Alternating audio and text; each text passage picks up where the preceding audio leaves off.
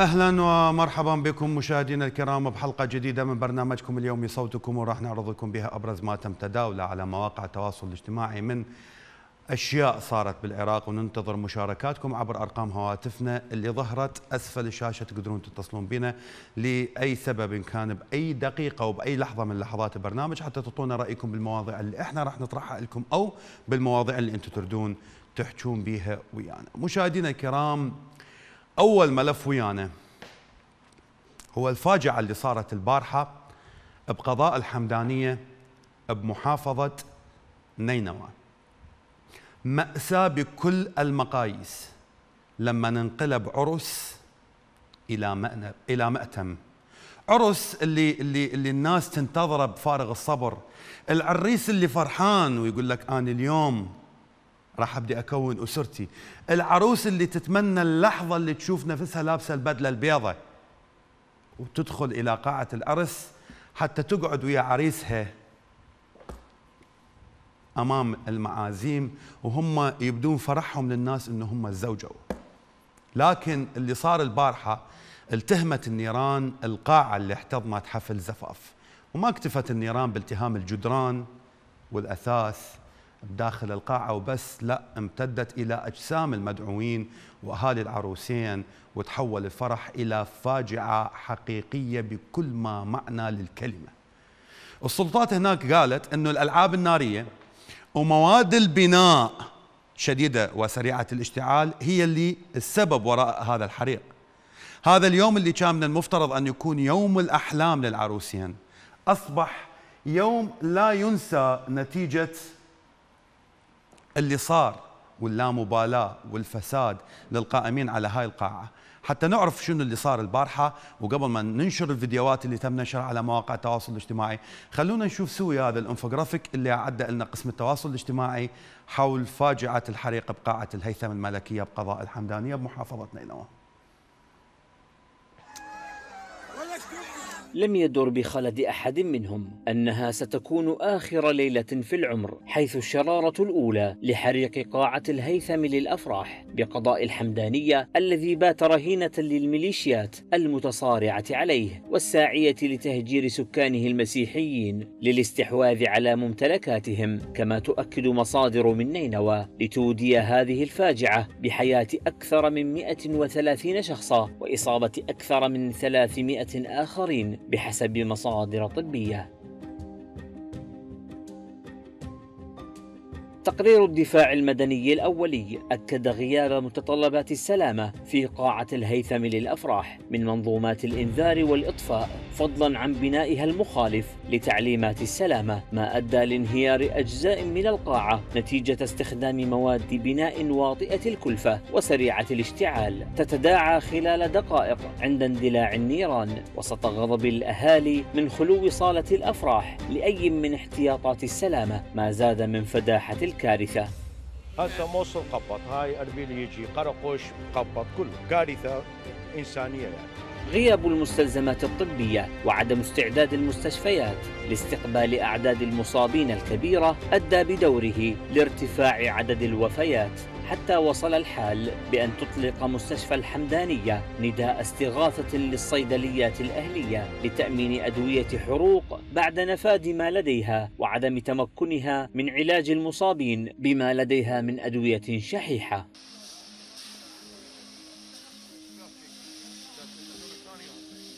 ما أشبه اليوم بالأمس فالأسباب نفسها التي أدت لحريق مستشفى ابن الخطيب في بغداد والحسين في ذي قار تظهر مجددا في فاجعة الحمدانية لتؤكد الفساد المستشري في مفاصل الدولة وغياب الرقابة الحكومية والاستهانة بحياة وأمن المواطنين من قبل المستثمرين المرتبطين بمكاتب الميليشيات الاقتصادية والمقاولين ممن تحال إليهم مناقصات تنفيذ مشاريع البناء.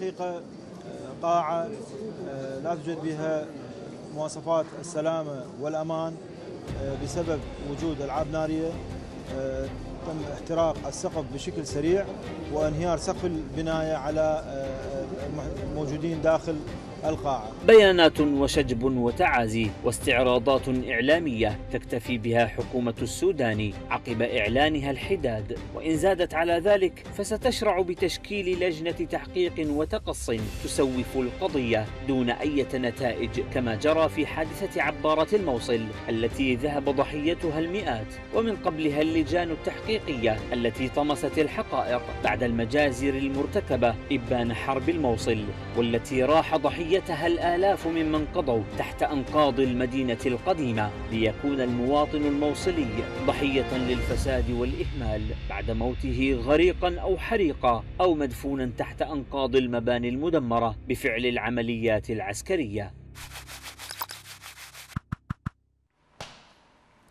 شكرا لقسم التواصل الاجتماعي. مصدر أمني كشف لنا إنه التحقيقات الأولية أكدت انه القاعة مشيدة بشكل غير قانوني وسمعتوا عبد الأمير الشمري وزير الداخلية إيش قال؟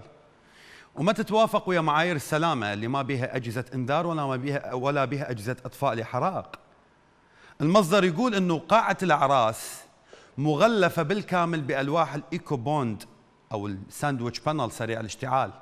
ومخالفة لكل تعليمات السلامة وافتقارها إلى متطلبات السلامة من منظومات إنذار إلى إطفاء رطبة بحسب المصدر. طبعا هم شخصوا هذا الشيء ورا كارثة من الكوارث اللي من المفترض ما تصير واللي من المفترض القاعة لما انبنت هم يعرفون قوانين السلامة ويقولوا له تعال حبيب قلبي أنت بنيت قاعة ذني وين؟ شلون خليتوها تشتغل؟ لهالسبب حملوا ذوي الضحايا صاحب القاعة المدعو سمير نبو المقرب من القيادي في ميليشيات بابليون أسامة الكلداني اللي هو أخو ريان الكلداني مسؤولية الحادثة بسبب بناء القاعة خارج الشروط وقواعد السلامة. خلونا نشوف. كم واحد من عائلتك بس هذه والدتي. هذول كلهم كلهم أهلي كلهم أهلي هذول شنو هذول شنو ذنبهم جايين يفرحون. وأنا قلت هذه مجزرة الهيثم. لا يرحمها التاريخ. منو يتحمل مسؤولية اللي صار؟ هو هذا أبو القاعة وأبو الحفل. والبي اللي بالبغداد مش تجاوز هاي القاعة لازم تتعزل هو جاي له كتاب. جاي له كتاب هاي ثلاث مرات. لازم يعزل القاعة وما معزل القاعة. هي تجاوز. هاي القاعة تجاوز. ممنوعة. فلوس فلوس يفتحها.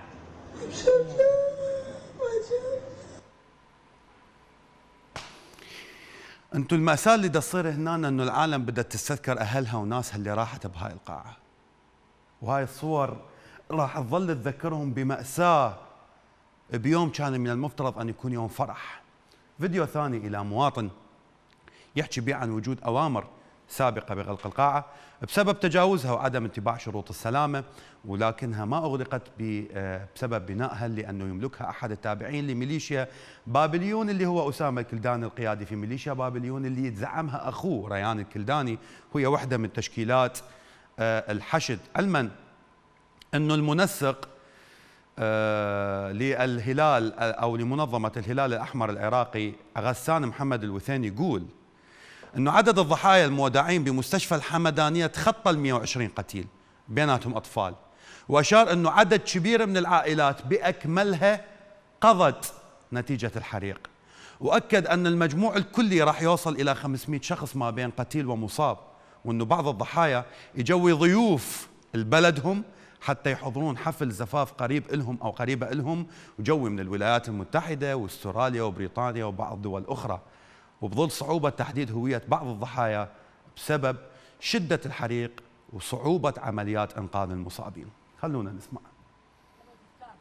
عائلة كامل راحت. زين لقيتهم. أربعة قبور لو أنا رايح لهم ما وين ما كان عندي ورد بالبيت راح. عائلتي وأطفالي وأخويا. إجراء إجراء السلامة ما توجد فيها القاعة ما أبي كل شيء بس ياخذ فلوس وبس دفاتر بس ياخذ فلوس.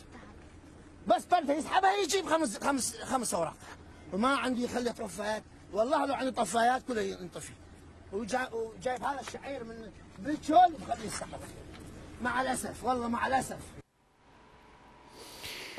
الناس لما شافت من البارحة بالليل إلى حد هاي اللحظة وسمعت بهاي الفاجعة بهاي كارثة بهاي المجزرة سموها شما سموها؟ تفاعلت ويا الموضوع لأنه مست وجدان العديد من الناس بداخل البلد وبخارجه. فجبنا لكم بعض التعليقات من منصة أكس محمد القيسي يقول بألم وحسرة نتابع ما يجري في الحمدانية. نتضامن مع ضحايا الحريق وذويهم ونسأل الله الرحمة لهم. هذه هي نتائج الفساد والإفلات من العقاب وانتشار الرشوة. المئات مثل هذه القاعة والمباني التي تعتبر قنابل موقوتة منتشرة في بغداد والمحافظات من دون رقابة بسبب فساد الجهات الرقابية بالنسبة إلى قضاء الحمدانية الناس اللي موجودة هناك يسموها بغديدة ولهالسبب كان هذا تعليق على هاشتاج بغديدة مصطفى خالد يقول هاشتاج فاجعة حمدانية هي نتاج مباشر لغياب الدولة ومؤسساتها وهي ليست الحادثة الأولى وللأسف لن تكون الأخيرة. التهاون في تطبيق إجراءات السلامة تتحمله مؤسسات الدولة المعنية والأحزاب التي تسيطر على هذه المشاريع. الآن سنسمع خطابات رنانة وتوجيهات شديدة لمدة يومين وبعدها لن يتغير شيء. أما أحمد وحيد الممثل تعرفوه في الموصل قبل أربع سنوات حدثت فاجعة العبارة في الجزيرة السياحية وأثناء الاحتفال بعيد الربيع. واليوم حدثت فاجعة أخرى في قاعة أعراس. مأساة الموصل أن فواجعها تأتي في أماكن الأفراح وفي لحظات السعادة. حماك الله يا أم الربيعين. وثابت عامر يقول يتبجح البعض في الإعمار الذي تشهده الموصل وإلى آخره من تطبيل. إن التبليط لا يعالج المرضى ولا يهتم بإجراءات الأمن والسلامة في الأماكن المزدحمة. الإعمار مو بس تبليط. خالص العزاء لأهلنا في الموصل. كانت كل هاي التعليقات على وسم هاشتاج بغديدة عندنا اتصال. أبو علي من بغداد. حياك الله يا أبو علي. ألو؟ ألو يا حبيبي ألو. هلا بيك أبو علي. الله يسعدك الله يسعدك تعرفت هلا بيك يا غالي. حبيبي احزيكم واحزي إخواننا المسيحيين بهذه الفاجعه حياك الله. إن شاء الله الصبر والسلوان ذويهم إن شاء الله.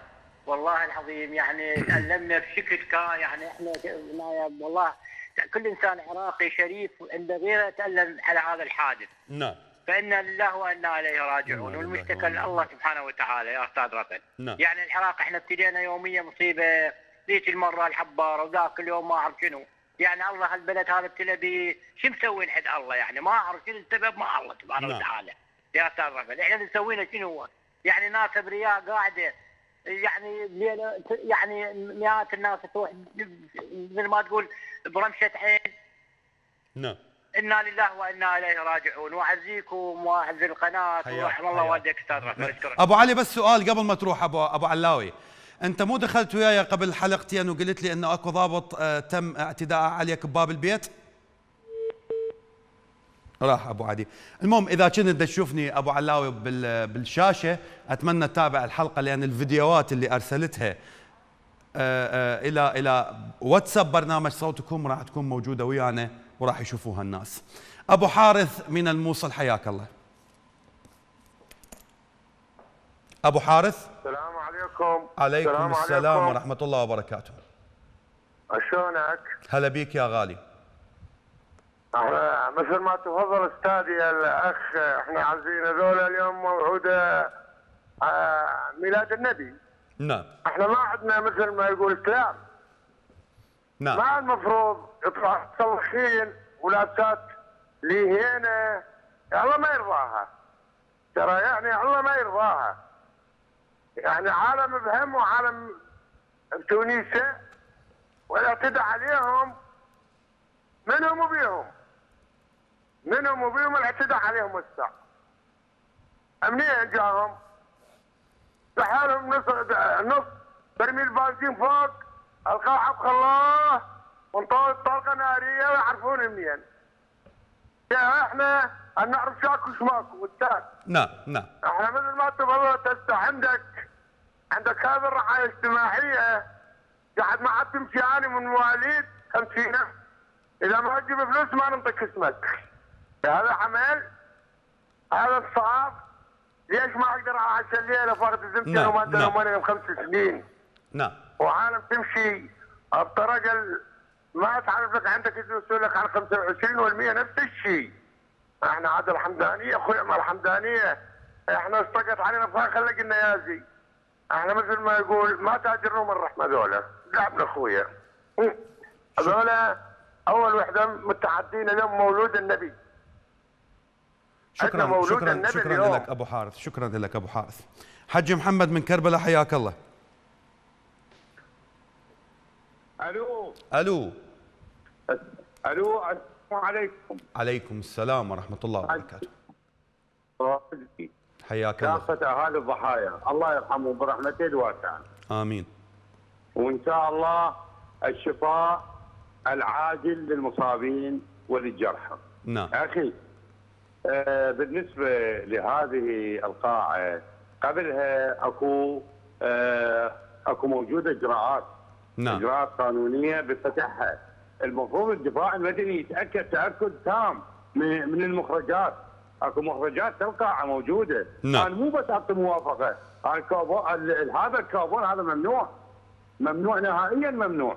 ما ممكن واحد ما ممكن واحد لا يوم وبين بين يعني بحريق بحريق المستشفى الحسين لو ابن الخطيب لو نعم، قاعة نعم، الهيثم بين نعم، شنو نعم، الأسب- هذا أسباب. منعه. وبالناصريه نعم. إذا تتذكر بالناصرية المستشفى زين؟ آه شيء ثاني آه بالنسبة لهاي المقصرية مبينه بين المقصرية يعني المو... يا أخي أبا يعني آه فاجعة.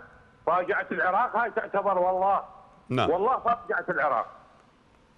نعم. و... وإن شاء الله إن شاء الله التحقيق يثبت ذلك ويقدمون المقصرين للعدالة. إن شاء الله. شكرا شكرا لك آه، حج محمد. مو بعيد عن كوارث العراق لكن هاي المرة الكارثة على المستوى الاقتصادي والصناعي بالبلد. ورا ما حاولوا مسؤولين متنفذين معامل العراق ومصانع كبيرة إلى استثمار خاص لهم هذا اللي حدث بأهمال وبيع باقي المصانع مثل مصنع النسيج ومصنع السكر وغيرها من المصانع الكبيرة. أو مثل ما سيطرت العتبة على أراضي مصنع تعليب كربلاء أو معامل تصنيع كربلاء. ورئيس الاتحاد العراقي لنقابة عمال ببابل كشف أنه تم تحويل معمل ألبان الحلة إلى معرض للسيارات ومطعم من قبل متنفذين. تعالوا نسمع اللي قاله بهذا التصريح. مصنع ألبان الحلة. إيه. اطول استثمار. يقول لك ليش تحكي على الصناعة؟ يعني مصنع ألبان هو شنو هذا؟ بس مع الحليب. يجيبون الحليب من الفلاح. يخلوه يشوف بيه تلوث ما بيه تلوث بعد وين يخلوه؟ بصفرية. بصفريه بيته بريد مم. وينقلوها وين؟ للمعامل والمصانع تنتج بها ألبان حليب قشطه يجي لها يجي لها استثمار. اعطيك هاي فكرتها ها؟ شلون شلون والله كمل لي هاي يعني يعني شو مسوي الاستاذ؟ اعطوه استثمار. إيه. هذا استثمار وزير الصناعه إيه. هو مو طا- طاهب قبل بس على الأقل خلي يشغلون. الجبوي. اي خلي خلي يشتغلون بيها على الأقل يشتغلون. العراقيين. شو مسوي؟ معرض مال سيارات. المعمل ما هو أصلا ما هو المعمل. يع- يعني يعني هم على أساس ماخذين معمل ألبان ومسوي معرض مال أصلاً ما هو سيارات المعمل. اسمع ما- سيد عدي وياي. أستاذ عدي. ويانا سيد عدي؟ أستاذ عدي معمل ألبان كامل. وياكم، هذا هذا أعطيك إياه. هاك. إيه. مسوي معرض معرض مال للسيارات. سيارات. صاير معرض معرض للسيارات. أكو هاي أكو ضمير أكو ضمير وين الضمير؟ أكو ضمير أكو معامل. أنا عندي عندي بالحلة 800 هذا هذا. مستثمر هذا المستثمر مستثمر بالعقد بالعقد عقد معمل البان. مصنع البان. مصنع البان حتى المكان بايع مال البان. وهو قالبه لفندي معرض معرض معرض سيارات من الممكن جايب سيارات آه، إنتاج خاص تمشي على الروبة مثلا؟ ممكن. عندنا مقطع ثاني اللي هو مضحك ومبكي بنفس الوقت. هو أن تحول معمل تابع إلى تصنيع عسكري أو شغله هو صناعات عسكرية وتحوله إلى معمل مال طرشي. راح تشوفون هنا تصريح للنائب عبد الهادي السعداوي ويحكي لكم عن تحويل مصنع كان يتبع هيئة التصنيع العسكري بمحافظة بابل واللي كان يصنع فخر العراق مسدس طارق. وحولوه إلى معمل طرشي. ورا ما تم استثماره من قبل أحد المتنفذين. هذا المشروع اللي العراق تعاون به ويا شركة بيرتا الإيطالية لصناعة الأسلحة ودزوا معمل متكامل لصناعة الأسلحة وطوروا مسدس برتا أن يكون مسدس عراقي بحت 100% وكان فخر إلنا هو مسدس طارق. اليوم هذا المصنع تحول من مسدسات إلى طرشي. اللي ما يعرف أنا يا مصنع جاي أحكي عليه أو يا منشأة أنا جاي أحكي عن مجمع أو منشأة القادسية العامة. خلونا نسمع. هو معمل مال المسدس طارق اللي كان مشهور يعني. تمام. ومن المعامل الكبيرة وبإمكان تستفاد منها في وزارة الداخلية والدفاع وهيئة الحشد وكل الأجهزة الأمنية. تحول إلى آه، معامل طرشي. يعني حكومي. أهلي. طبعا هو حكومي.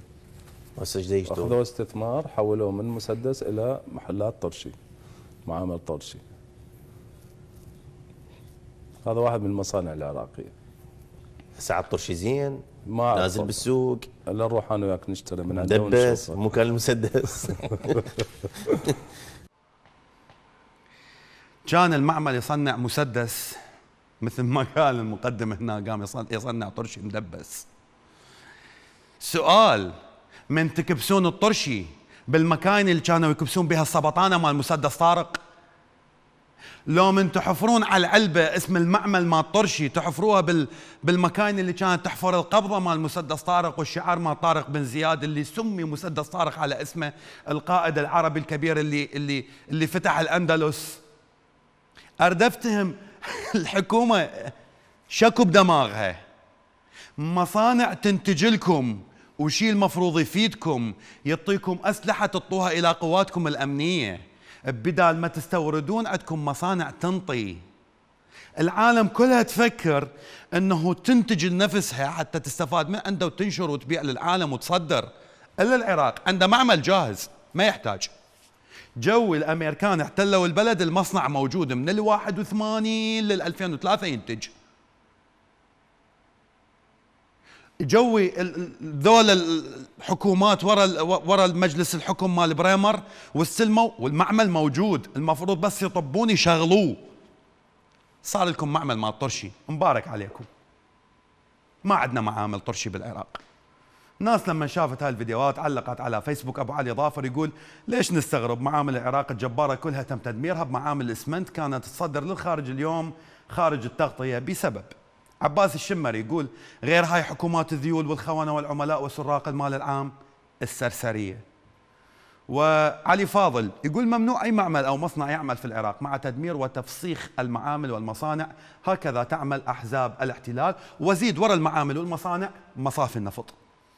وابن الرافدين يقول ممنوع الصناعة والزراعة وكل شيء في العراق الكل يعلم ذلك. نعم كلمة صنع في العراق يجب أن تدمر. هذه اللي أثبتتها الأيام لنا بعد عام 2003 أن يخسر العراق صناعاته وفخره ومعامله عبد الرزاق من بابل حياك الله. السلام عليكم. عليكم السلام ورحمة الله وبركاته. أستاذ اثر شر البلية ما يضحك صراحة. يعني الع- العراق اللي بلد ال- المصانع بلد التصنيع بلد النهضة والحضارة نعم. يحولون المعامل مالته إلى قرشي إلى معامل مال لاستيك تكرم عن طريقها نعوله. يعني هذا هذا هذا هذا بلد يا أفت. بس هو هذا الاتفاق ويا الحكومات اللي اجت بعد 2003 بأنه العراق يكون بلد مستهلك. يعني ما ما يسمحون لا بمصنع لا بمعمل لا بزراعة لا بصناعة.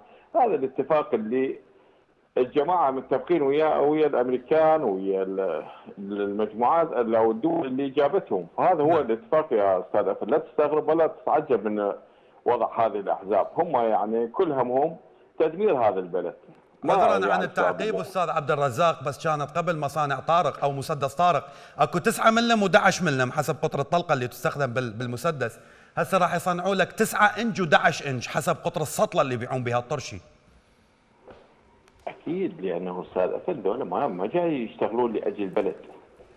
دول نعم. يشتغلون لأجل البلدان اللي اجوا من آه، دفعتهم. يعني هم عملاء هم يعرفوا كل زين هم عملاء دول أخرى. فالدول الأخرى ال- ال- هي اللي ت- تأمرهم وهم ينفذون. فما نستغرب بأنه يحولوا لك البلد إلى خراب إلى دمار. هو هذا منهجهم يا أستاذ أفد فما يعني بالهم أو فكرهم بأنه ينهضون بهذا البلد يقدمون له كل مقومات الحياة. هذا بعيد عن فكرهم بعيد عن منهجهم كل ما يهمهم هو تدمير هذا البلد. وما يسمحون بأي عمل آه، يخدم بأي عمل حتى لو كان صغير هذا العمل بإنه يخدم هذا البلد ويرفع اسم هذا البلد. فهذا هو ديدن هم هذا هو العمل اللي جاي يشتغلون عليه يا أستاذ افد نعم. تحياتي لك. شكرا شكرا لك آه، أخ عبد الرزاق. أنا السؤال اللي أحب أطرحه هنا بالنسبة إلى منشأة القادسية اللي تحول إلى إلى معمل طرشي أو إلى تحولت إلى معمل طرشي.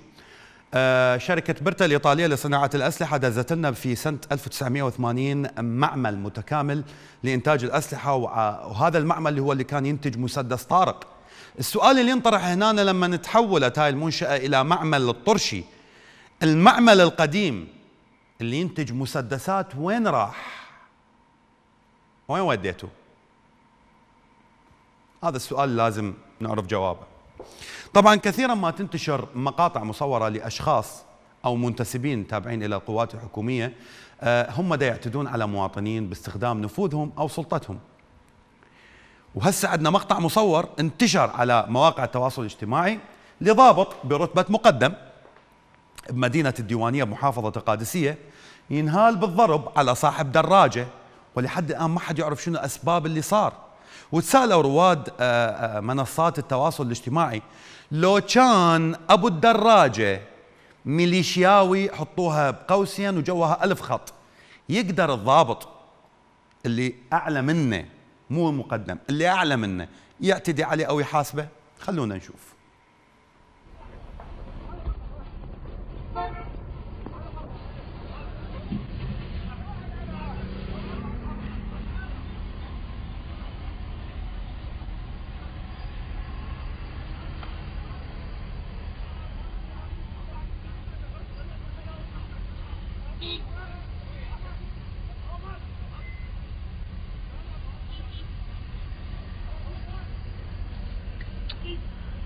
يلا واحد يقدر بلاغ على هذول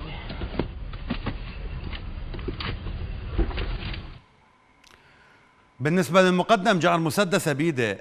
يقدر المقدم أو المنتسب يجر مسدسة خارج أوقات الدوام أو إلا بتكليف رسمي حسب القانون. أتمنى يطب لي واحد قانوني يحكي لي بهاي القضية. أنا حكيت ويا أبو علي من بغداد الأخ عطوان رسن حسان وقلت له تابعنا هذا الفيديو دزلنا قبل حلقتين أو ثلاث حلقات عن اعتداء صار عليه بباب بيته بدون أي سبب بحسب اللي قاله. من قبل شرطي برتبة ملازم تابع إلى وزارة الداخلية ويقول أنه هو راح إلى مركز الشرطة العلوية وقدم دعوة ضد هذا الضابط لكن بسبب أنه المعتدي شرطي ما قدر يسوي شيء ولا تمت استدعاءه أو محاسبته من قبل المركز. المواطن قد دزلنا هاي الفيديوهات وهي تقرير طبي. وطالب عرضها خلال برنامج صوتكم حتى يوصل صوته. ورا ما عجز هو وعجزت الجهات المختصة أن تعطيه حقه وتسترجع له حقه وتحاسب المعتدي. خلونا نشوف.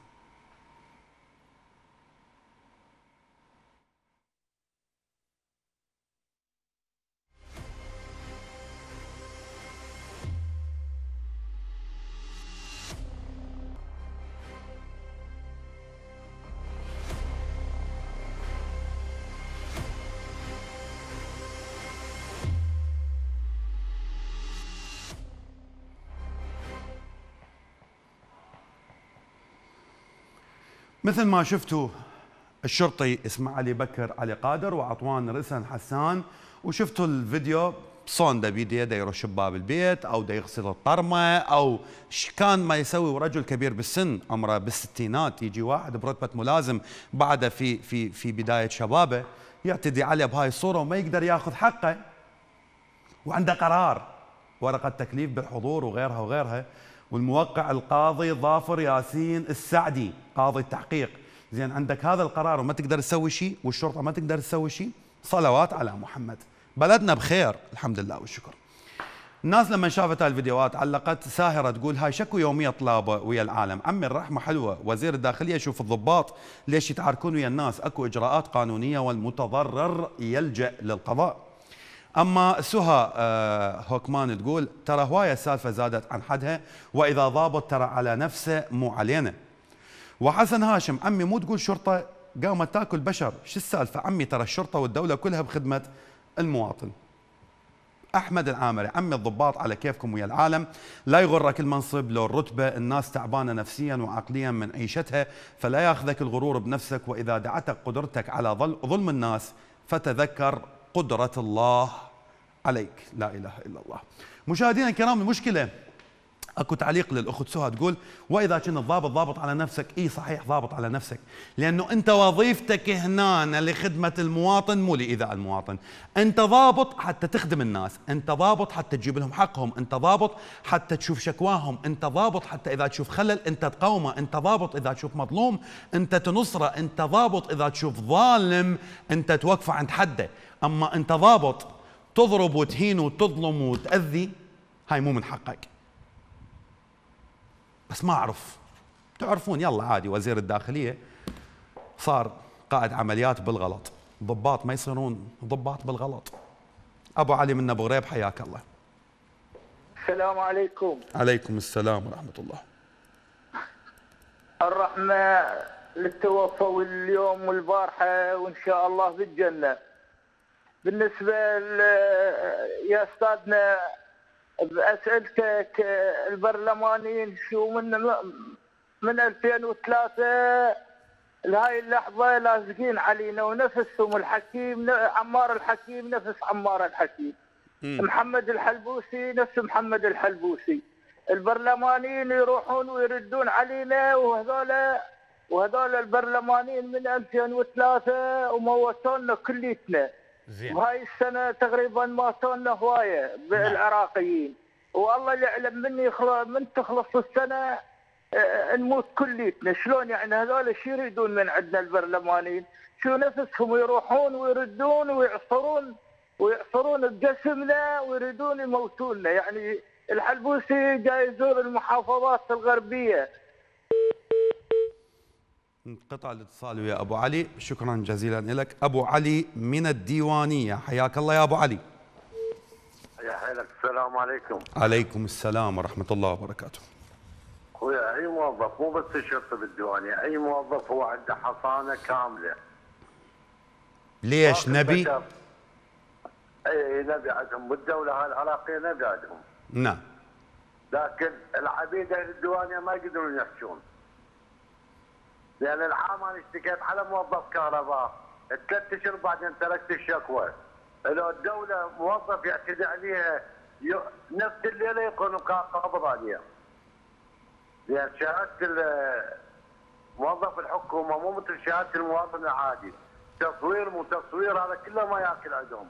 وكل دائرة بالديوانية هي من لون من لون قبيلة. يعني أنا طبت مرة دائرة المدير ابن خالة وابن عمه كله بيها يعني شنو شغلة أحزاب. يعني الموظف ما تقدر تحكي وتقول هذا فاسد. وكل الديوانيه تعرف وكل الديوانيه يعرفون إن الديوانيه دوائرها مملوكة. كل عشيرة ماخذت لها دائرة بيها. والشرطة تلقي بيه. مدير الشرطة نفسيته ابن عم هذا الضابط. والضابط ابن عم الجندي. الشرطة يعني واحد ابن عم الثاني. يعني نعم، نعم. مملوكة بالديوانيه عندنا نعم نعم. خسران بها المواطن نعم. بس المواطن يدفع ضريبة لأن هو راح انتخب هاي الحكومة.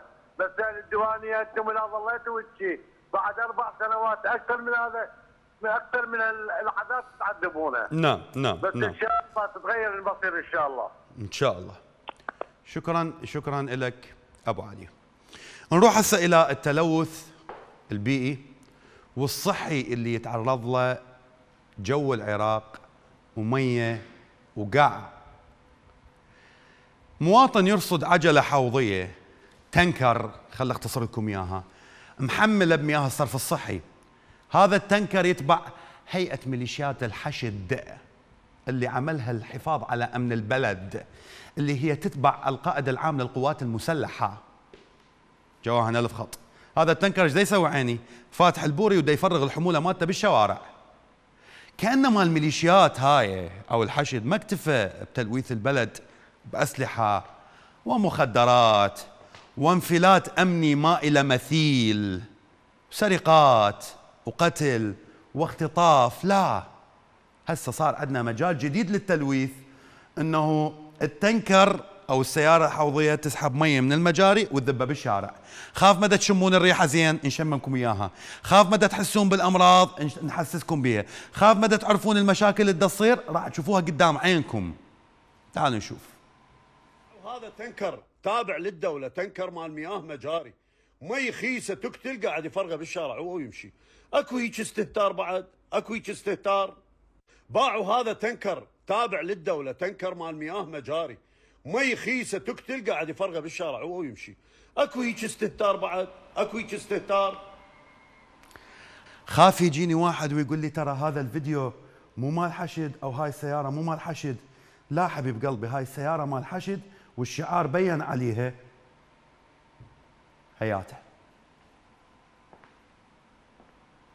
شوفوا قدام عينكم هاي واحدة من مشاكل العراق الجديدة. عندنا فيديو ثاني إلى ناشط. الناشط هنا يرصد لكم استمرار السلطات في النجف تصريف مياه الصرف الصحي والمجاري بشكل مباشر إلى حوض نهر الكوفة أو شط الكوفة. من دون أي معالجة. ويتساءل الناشط شنو مصير ال 33 مليار دينار اللي خصصت لمعالجة هذا الأمر وتحويل مجرى مياه الصرف الصحي إلى شط وبركاته تم صرف أكثر أكثر من 33 مليار.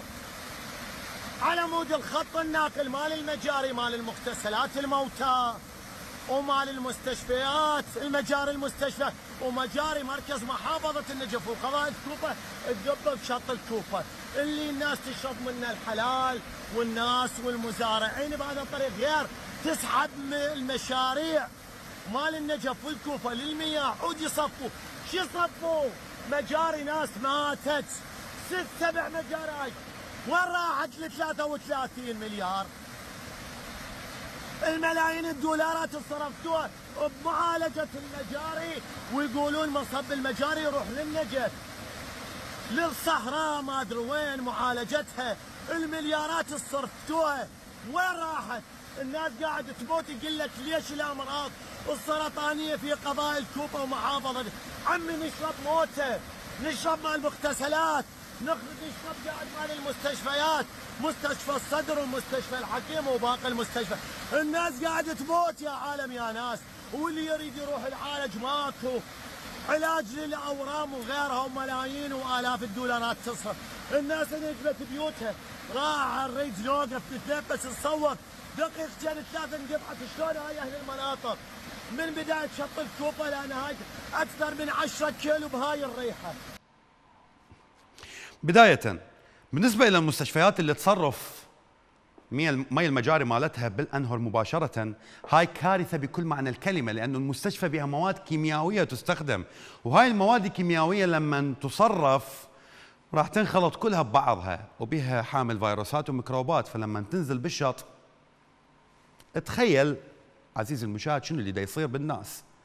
أما بالنسبة إلى المجاري اللي قاعدة تتصرف بزمن الحصار والعالم كله سد على العراق كل شيء ومنع عن العراق كل شيء حتى استيراد القلم رصاص. كانت المجاري تتعالج ويعيد تدويرها من جديد واللي يتم الاستفادة منه وراء فحوصات مختبرية يلا يضخوه للشط. والباقي ينطمر بطريقة معينة بطريقة صحية بطريقة رسمية وحسب قوانين حتى الناس لا تشتم ريحة ولا تعرف شنو اللي دا يصير. ولا تحس بال بال بال بال بالانزعاج من الروائح والغازات والأمراض والحشرات. أما اليوم بالعراق يقول لك ليش متعبين نفسنا؟ هاي العالم ببيوتها دا يصرفون مي المجاري مالتهم والوساخة والما أعرف شنو دا تطلع من البيوت. الطب للمحطة مال المجاري ليش نعالجها؟ على شنو نعالجها؟ فتحوا الباب وطلعوها قبل بالشط. هي تمشي. والكوارث اللي بيها. خلي الناس تستفاد من عندها. الناس لما شافت هاي الفيديوهات علقت على هذا الموضوع. أول تعليق حسين محسن الغرابي يقول أصلا مياه الشط نسبة مياه المجاري أكثر من نسبة المياه النقية وحتى واضح على لون المياه. كرار الحدراوي يقول الله ينتقم من كل فاسد ومن المسؤولين والنواب الحرامية. نبيل أبو آه، شنينة يقول أتصل بالبيئة أقول لهم على التلوث يقول لي لا ماكو تلوث جاي تتعالج بالله تحكي وياه. ودكتور عباس صاحب النفاخ يقول مشكلة كبيرة وعبث بالبيئة وبالماء اللي هو نعمة الله للبشر. وإذا بهم يلوثون الماء بالمجاري الثقيلة بدل أن يعملوا مشاريع عملاقة للاستفادة من المياه الثقيلة في صناعات متعددة مثل البتروكيماويات والأسمدة وإذا بهم يهدروها ويلوثون بها الأنهار رغم المليارات التي صرفت دون نتائج إلى الله أو إلى الله المشتكى. فكانت هاي تعليق دكتور عباس صاحب على النفاخ على هذا الموضوع. والمشكلة أنه العراق بمشاكل هواية وكلها مدى يستفادون من عندها وكلها لو يستفادون من عندها يحيون بها قطاعات أخرى. وهاي واحدة من الأشياء إذا أحيوها المجاري هم راح يستفادون من عندها بالأسمدة وإذا استفادوا من الأسمدة راح يحيون الزراعة وإذا أحيوا الزراعة لازم يحيون الصناعة وإذا أحيوا الصناعة فما راح يتحول معمل طارق إلى معمل طرشي. تعرفون مشاهدينا الكرام أكو نافذة لقناة رافدين اسمها أنت ترى اللي يريد يعرف نافذة أنت ترى الشريط الأبيض اللي جوا به الاخبار يتابع للأخير يلقى الأرقام عفوا مال نافذة أنت ترى ويدز لنا عليها اللي يريده. هاي واحدة من الرسائل اللي جتنا على نافذة أنت ترى اللي هم مجموعة كتبوا لنا الرسالة راح أقرأ لكم إياها نصا. السلام عليكم. ممكن عن طريق قناتكم نوصل صوتنا للجهات المعنية. إحنا شريحة مظلومة هم يقولون إحنا شريحة مظلومة من موظفين الصحة المنهية خدماتنا. والله جبرا وبسبب ظروف خارجة عن إرادتنا لكن حصلنا كتب موافقات لرجوعنا إلى العمل ولكن وزارة الصحة ما تريد ترجعنا وشغلتنا متوقفة بس على جرة قلم من الوزير وإحنا أصحاب عوائل وأطفال. فكانت هاي رسالتهم وهذا الفيديو اللي دزوه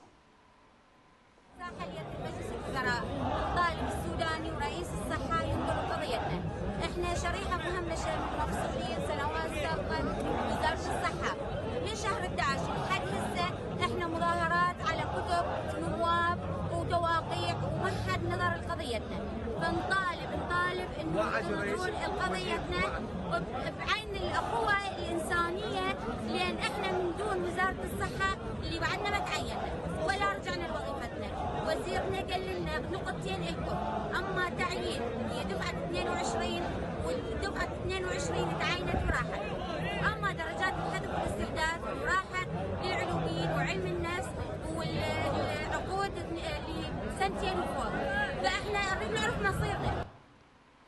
هاي الرسالة اللي دزوها لنا وحاولوا إنه يوصلوها لكم مشاهدينا الكرام وإحنا اللي نقدر عليه سويناه إنه وصلنا لكم صوتهم.